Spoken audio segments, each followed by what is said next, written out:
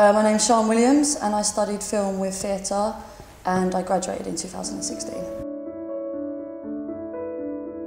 I chose to study film with theatre because I was always into like creative arts but lots of different creative arts so I didn't know which way to go. Um, so I knew I wanted to do a combined creative course. There was something about Roehampton that really drew me in. Um, I loved the campus. I thought it was stunning. Uh, and that, I don't know, I just got like a connection with it. It sounds ridiculous, but I did. And um, I came to visit and I was like sold pretty much. It just seemed really friendly is the word, like really friendly, really open and kind of like really chilled out and that's kind of what I wanted.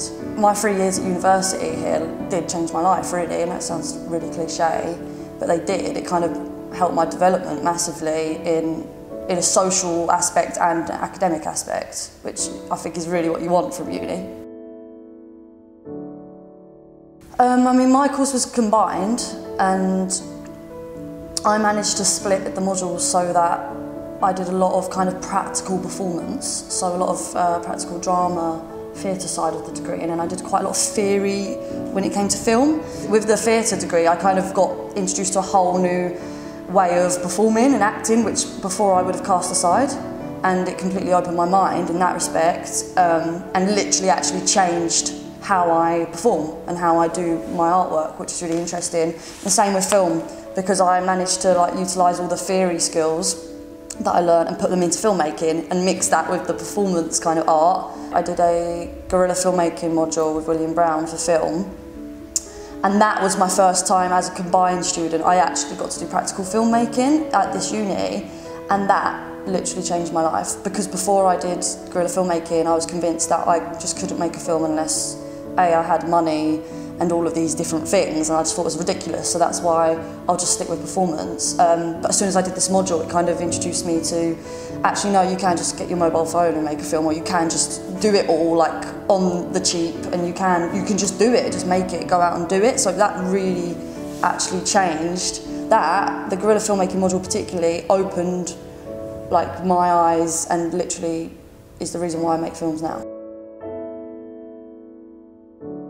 I went to loads of theatres that I'd never even heard of before and saw loads of different plays all around London because that's the great thing about studying theatre at Roehampton. You can go straight into central London and go to all these amazing theatres. And with film, um, there's lots of different screenings on and there's a particular trip that I've been on, I think it's twice, um, which you can still go on as alumni. Um, and it's uh, a trip to Portugal to a film festival there called Fest which is a film festival for like new directors.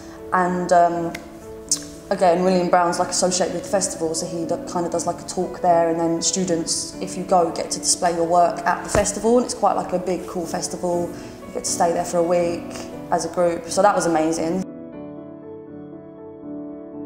I do my own filmmaking. Um, I've had some success in festivals, um, BFI Flare, uh, Fringe Queer Festival. Um, I've had I've had um, some work exhibited in galleries and like I've gone been to Berlin and spoke about my work and stuff. So I've had success like artistically. I'm hoping actually in the future to do a PhD and potentially lecture while I still make films. So this is what being being at Roehampton has kind of opened doors for me kind of thing and pushed me into these avenues. So